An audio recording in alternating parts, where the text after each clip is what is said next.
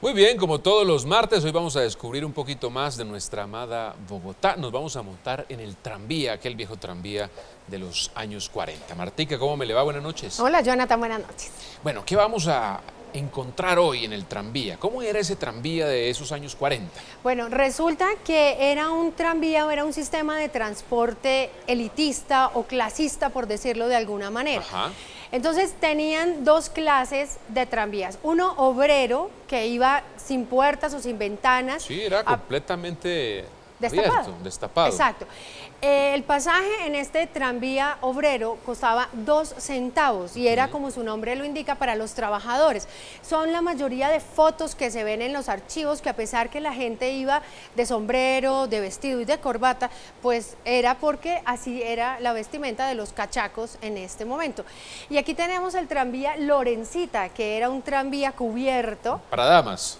Y sobre todo eh, para que no se mojaran los Claro, caballeros claro. y sus acompañantes cuando llovía. Ni siquiera se cruzaban en los recorridos. ¿Cuánto costaba el pasaje en ese? Cinco centavos. Cinco centavos. El tranvía Lorencita se movía hacia Chapinero y toda esa zona que en ese momento era donde quedaban las, como la, todavía a, a las afueras de Bogotá eran las haciendas, y el tranvía obrero iba hacia la calle 13, hacia las fábricas. Sí. O sea, más o menos ellos se encontraban en el parqueadero. Y es así como ahora el tranvía rueda por las calles de la Candelaria, porque lo que se quiere rescatar es el patrimonio. Así descubrimos la Bogotá escondida de hoy.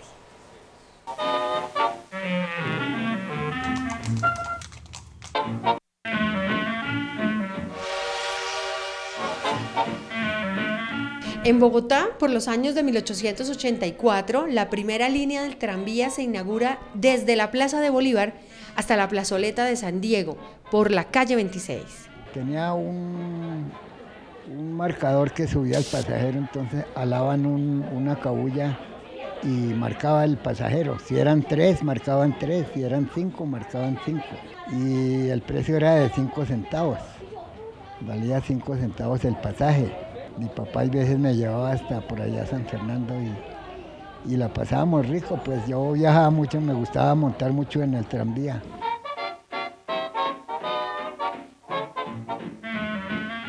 La gente pues como vestía con sombrero, abrigo y ruana y todo, entonces era puros cachacos. Para recordarlo, después que se acabara completamente el servicio en 1951, decidieron hacer una réplica y ponerla a rodar por las calles de la Bogotá antigua.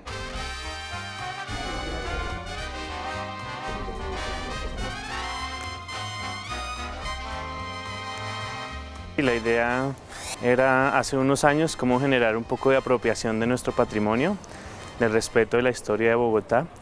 Y una muy buena excusa era crear una representación del antiguo tranvía abierto, que quizás era el más famoso.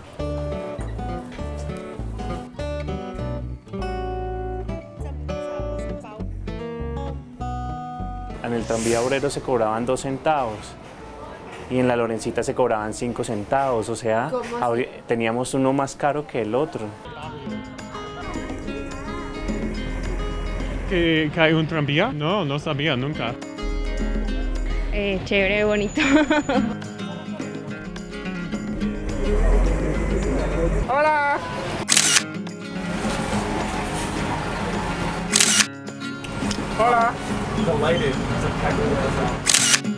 En el recorrido por las calles empedradas de la Candelaria, les van contando parte de sus raíces a los pasajeros.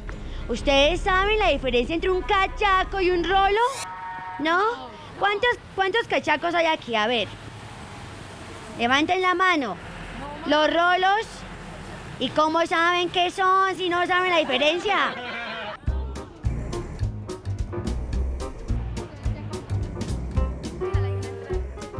Un turismo sostenible que apunta a convertir a la localidad de la Candelaria literalmente en una tacita de plata. La Candelaria va a ser certificada como un destino turístico sostenible, sostenible en lo ambiental, en lo económico y en lo cultural.